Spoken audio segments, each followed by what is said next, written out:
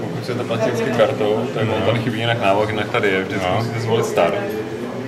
Aha, tu je start. start a teďka musíte vlastně vybrat produkt. Nejdřív je to tak, že Vyberem vždycky vyberete produkt. produkt. Dobre. Ano, a teď přiložíte Ešte kartu. by som si dal menej cukru.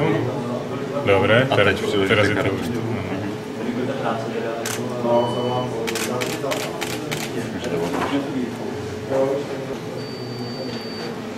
Jo, tady je vždycky důležitý o tom, že nejdřív zvolit start, protože tím inicializujete ten celý vending machine, který si udělá takzvaný kredit.